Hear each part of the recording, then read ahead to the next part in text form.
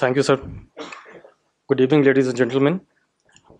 Uh, this story goes back to more than 10 years now. It happened in 2007 when I was with NDTV in Bhopal. And uh, we, as journalists, as reporters, we get in touch with uh, officials, politicians, from all sections of the society, even crooks and dacoits and criminals, murderers, everybody. everybody. We sit even with the coolies, everybody. Means uh, for us, everybody is equal. So in that process, I started meeting uh, Muhammad sir in Bhopal.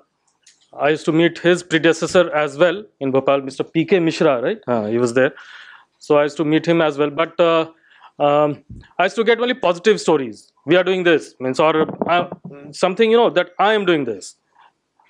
So that uh, his numbers get increased, उनका promotion हो जाए, कुछ हो जाए, उस तरह का. But when I met him, means I felt he was a totally different kind of a personality, an officer, which I'd never met before. सब लोगों से मिले हम लोग तो इनके पर्सनालिटी के मैं तीन एस्पेक्ट्स बता दूँ। बिकॉज़ इन्होंने जब मुझे इंट्रोड्यूस करा था इन्होंने कहा था कि uh, शक्ति शेखर से मुझे बहुत करेज uh, मिलता था मिला था। In fact I would say I used to draw courage from him मतलब ये एक एक तरह का म्यूचुअल दोनों के लिए ये था। वो जो इन्होंने किया वो पॉसिबल नहीं था। हम लोग दोनों बिना एक दूसरे के मिले हुए वो नहीं हो सकता था। तो एक दूसरे से हम लोग दोनों करेज स्ट्रेंथ ड्रॉ करते थे। तो एक तो as an officer he is highly efficient आपने देखा कितना, कैसे काम करते हैं ये, कितना एफिशिएंटली परफेक्ट एफिशिएंट बेसिकली अपने बारे में कुछ बताते नहीं है। इनके बारे में रिसर्च करना पड़ता है, लोगों को सुनना पड़ता है। ताज कॉरिडोर केस इन्होंने ही एक्सपोज किया था, जब उत्तर प्रदेश में मायावती, वो जो ताज कॉरिडोर बना रही थी बिना परमिशन लिए तो तभी मोहम्मद सर आगरा में थे पोस्टेड इनको पता चला कि ट्रक्स वगैरह अचानक एक मॉर्निंग में आ गई और इन्होंने फिर रिपोर्ट किया क्वेश्चन किया फिर वो ताज कॉरिडोर के सुप्रीम कोर्ट तक गया और चल रहा है। तो इस तरह के काम ये करते हैं ये किसी से भी भिड़ जाते हैं। आ, देखने में ये भी इनका भी हाइट छोटा है मेरा भी छोटा है दोनों छोटे हैं। और हम लोगों को हमेशा सुनने को मिलता है यार तुम लोग पहले जब लोग बात करते हैं फ़ोन पे या कुछ तो समझते हुए कि लंबा चौड़ा आदमी होगा दोनों भिड़ जाते हैं। लेकिन जब आमने सामने मिलते रहे इतने छोटे। ये, या मुझे भी, ये दोनों, ये हम लोग को, है ना सर? दोनों को मिला है, ये कॉम्प्लीमेंट चाहे मिनिस्टर्स हों या डेकॉर्ड्स हों, हम लोग मिलते हैं जो अच्छा इतने छोटे और ये इस तरह की, इस तरह की बातें करते हो। तो एक तो इनका एस्पेक्ट है कि is very efficient and as a person is very courageous but उतना ही हम्बल है। उतना ही हम्बल है। सो हम्बल कि एकदम छोटे छोटे को भी उतना रिस्पेक्ट देते हैं जैसे जो कि उनसे छोटा उनको नहीं देता होगा। तो रिस्पेक्ट देने में इनसे बड़ा किसी को इम्पोर्टेंस वैल्यू देना इनसे कोई सीखे बहुत बहुत ही ज़्यादा हम्बल आदमी, ऐसे दुनिया में बहुत कम लोग होते हैं। तीसरा एस्पेक्ट जो मैं आप लोगों को बता दूँ, वो है Mohammad sir as a religious person he is a Muslim from Kerala but I have seen him reciting Sanskrit shlokas verbatim my God मतलब जो अच्छे से अच्छे संस्कृत का विद्वान नहीं जानता होगा और पंडित नहीं कर कर सकता कर कर सकते होंगे वो मोहम्मद सर करते हैं वो जानते हैं। आ, तो एक ये है और इतना सेक्युलर पर्सन और ये बहुत बड़े शिव भक्त हैं। डिस्पाइट बीइंग अ मुस्लिम मतलब और शिव भक्त आपको सर कोई काफिर आपको कभी किसने नहीं बोला क्या? मतलब आपके ऊपर वो क्या बोलते हैं वो सब फतवा वतवा जारी नहीं हुआ? अच्छा हुआ है। तो शिव भक्त ये इन इनमें एक ये है कि ये अगर किसी रोड से जा रहे हो आगे कोई मंदिर हो शिव का शिव जी का तो इनको एक आभास हो जाता है। कुछ वाइब्रेशन आता है और इनको लगता है यही बोल देते हैं पर इसकी यहाँ पे पक्का शायद यहाँ कोई शिव शिव मंदिर है और वो सही निकलता है। ऐसी क्वालिटी बताइए ऐसे ऐसे मतलब कितने बहुत लोग हिंदू होंगे यहाँ पे उन उनमें भी ये ये चीज़ नहीं है। कुछ आपका पुराना जन्म का रिश्ता है या अभी भी कुछ आपका बॉन्डिंग है शिव जी से? कोई हाँ, तार आपके जुड़े हुए हैं सर। तो आ, इस तरह के आदमी हैं। अयोध्या में इन्होंने बहुत रिसर्च किया। इन्होंने बोला कि अयोध्या इज़ मतलब ये कि इज़ वॉज़ अ टेंपल वहाँ पे। And it should be handed over to the Hindus इनका स्टैंड है। अयोध्या, मथुरा, काशी, ये सब हिंदूज को मिलना चाहिए। मतलब ऐसे कितने मुस्लिम्स हैं यहाँ पे, कितने सेकुलर मुस्लिम इतने बड़े दिल वाले मुस्लिम समाज जैसा, ऐसा स्टैंड ले सकते हो। अपने ऊपर इतना खतरा मोल लेने के बावजूद ये इन्होंने लिया। और इसी का नतीजा था कि निर्भय गुर्जर से भी इन्होंने पंगा लिया। वो कैसे, वो कहानी छोटी सी, बस मैं सुनाऊँगा। मैं इनसे मिला तो इन्होंने कहा कि मैं बहुत मुश्किल में हूँ आजकल। क्या हो गया? तो बटेश्वर टेंपल है मोरेना में, और हम लोग उसका कंजर्वेशन नहीं कर पा रहे हैं। क्यों नहीं कर पा रहे हैं? तो वहाँ पे एक तो पहले डकैत थे, डकैत से हम लोगों ने जब छुटकारा पाया, वो वो स्टेज था, जब डकैत और, डकैत से उबर गए थे, और जब इनको तंग करने लगे थे लीगल माइनर्स वहाँ पे डायनामाइट से ब्लास्ट करते थे और उसकी, उसके वाइब्रेशन से साउंड से इनका जो टेंपल था, वो क्रम्बल करने लगा था। तो उस समय की बात, इन्होंने कहा कि मैं अब के सुदर्शन जी को चिट्ठी लिखने वाला हूँ। तभी मैं, मैंने दिल्ली में बात की और मैंने वो स्टोरी की। स्टोरी करने के पहले मैं इनका, मैंने इनकी बाइट ली, फिर मैं पहुँचा बटेश्वर।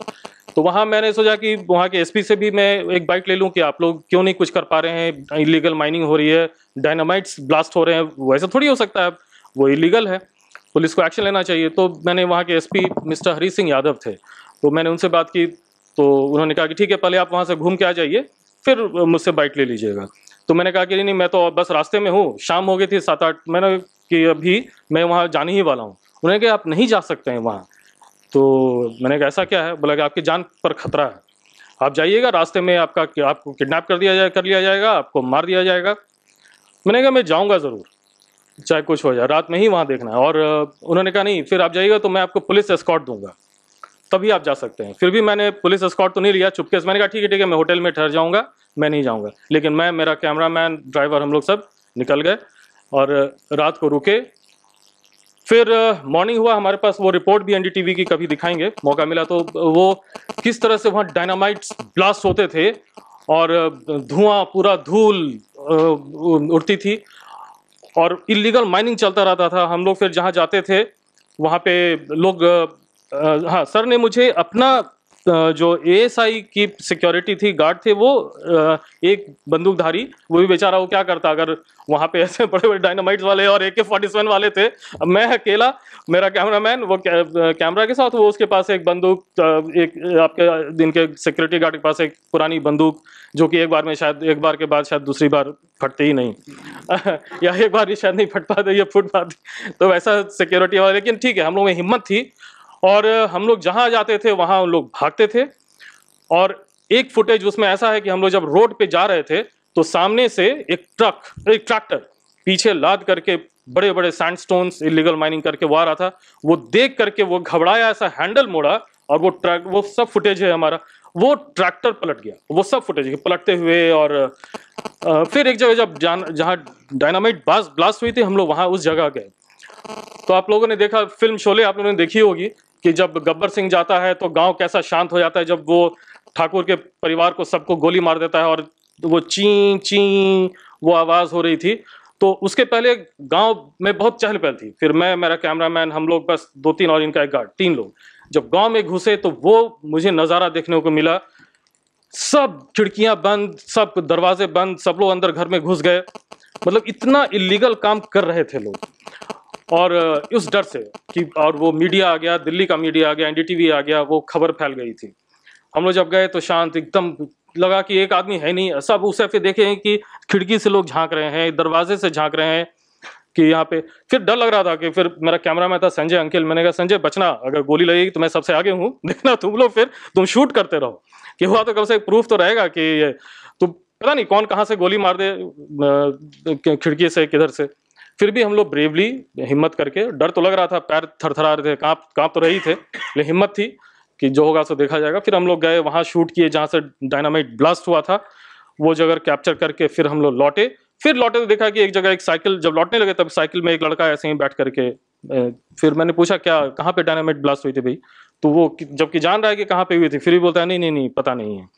इस तरह का माहौल हम लोग वहाँ से गुजर के आए। फिर जब भोपाल आए तो लक्ष्मीकांत शर्मा जी, जो कि अभी अब जेल में हैं, व्यापम केस में तो वो तभी कल्चर मिनिस्टर थे। उनसे मैंने बाइट ली और उन्होंने ये कहा कि नहीं नहीं, हम लोग तो बहुत एक्शन ले रहे हैं, बहुत हम लोग कार्रवाई कर रहे हैं, नहीं होने देंगे। मतलब ये दिखाता है कैसे नेता लोग और अफसर या तो डरे हुए रहते हैं वैसे एलिमेंट से एंटी सोशल एलिमेंट से, या मिले हुए होते हैं। ये भी एक प्रूफ हुआ।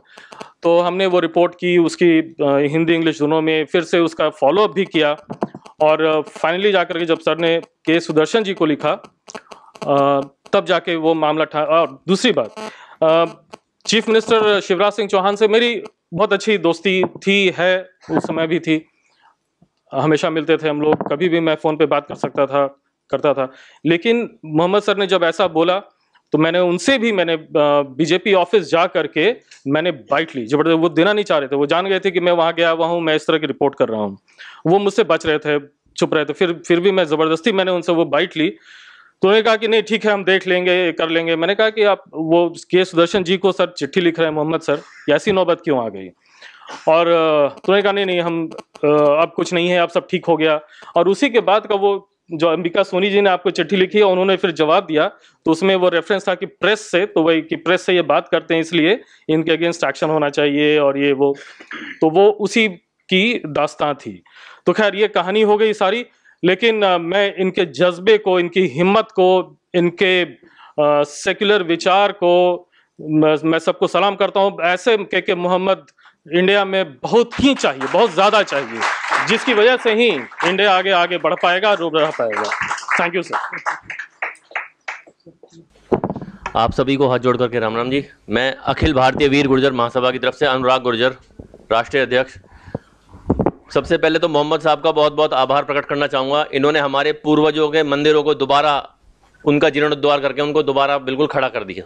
जिसके लिए हृदय की गहराइयों से मैं ही नहीं पूरा समाज और पूरा देश इनका बहुत बहुत आभार प्रकट करता है जी। पिछले फ्राइडे मैं वहीं पर था। मैंने खुद सारी चीज़ें अपनी आँखों से देखी हैं। और आप ये लगाइए कि थर्सडे को निकले थे चार बजे वहाँ पे। मैं अपना पर्सनल एक्सपीरियंस बता रहा हूँ, जो जैसे मोहम्मद साहब का भगवान शिव से जुड़ा हुआ है, वैसा ही मैं अपना बता रहा हूँ। साढ़े बारह बजे सोए और सुबह चार बजे से पहले ही साढ़े तीन बजे अपने आप से ही हर हर महादेव का अपने आप से जय घोष शुरू हो गया अंदर से ही, अंतरात्मा की तरफ़ से ही। और तभी उठ के बैठ गया। मैंने सबको मिसेस थी, दोनों बच्चे थे, गौरव है भाई छोटा, वो था, उसकी मिसेस थी, उसकी बेटी थी। मैं उन सबको लेके, मैंने बोला जल्दी चलो यहाँ से। मैं महादेव बुला रहे हैं। मैं उनका, मैं हमारे जो पूर्वज हैं, वो बुला रहे हैं। मतलब और बहुत सौभाग्यवान हूँ मैं आज कि आज के दिन, जिस दिन 26 जनवरी के दिन हमारा रिपब्लिक डे होता है उस दिन हम वहाँ थे अपने पूर्वजों के स्थान पे। और आप ये लगाइए, ऐसा एक्सपीरियंस है, मैं सबसे यही बोलूँगा, हाथ जोड़ के निवेदन करूँगा कि वहाँ जाएँ। और इसके लिए हम सिग्नेचर कैंपेन स्टार्ट करने वाले हैं, जो सीधा प्रधानमंत्री जी के पास लाखों की संख्या में लोगों के हस्ताक्षर करवा के भिजवाएँगे कि जी इनका जीर्णोद्वार करवाने के लिए। उसके साथ साथ एक चीज़ और बताता हूँ मैं आपको, वहाँ और क्या देखा मैंने। एक मंदिर है जी, वहाँ पे आपने लुटियंस ने संसद भवन बनाई, वो देखा है। बिल्कुल एज इट इज़ चौसठ योगिनी मंदिर है वहाँ पे। उससे प्रेरणा लेके लुटियंस ने बनाया वो। श्रेय लुटियंस को गया, मगर वो बनाया गुर्जर प्रतिहारों ने, हमारे पूर्वजों ने। तो मैं आप सभी से रिक्वेस्ट करूँगा कि ये सारी चीज़ें एक बार प्रधानमंत्री जी, भाई प्रधानमंत्री जी भी शिव भक्त हैं, मोहम्मद साहब भी शिव भक्त हैं, हम भी शिव भक्त हैं। बस एक बार वो जल चढ़ा दें वहाँ पे, चौसठ योगिनी में जाके और यहाँ पे बटेश्वर में जाके। अपने आप इतना टूरिज़्म आएगा, इतना टूरिज़्म आएगा, जो लोग गलत दिशा में जा रहे हैं वहाँ पे। भाई बदमाशी की तरफ़, गुंडागर्दी की तरफ़ इलीगल माइनिंग की तरफ़, उनको जब रोज़गार मिलेगा वहाँ टूरिज़्म से, आप देखिए कितना टर्न आउट हो जाएगा। समझाने वाला चाहिए, जामवंत चाहिए इस वानर सेना को समझाने के लिए, और वो जामवंत मोहम्मद साहब हैं। अगर जोशी साहब की अनुमति हो तो हम अपने संगठन की तरफ़ से मोहम्मद साहब का, आपका और शक्ति जी का सम्मान करना चाहेंगे। अगर आप हाथ जोड़ के निवेदन है, अगर आपकी अनुमति हो तो।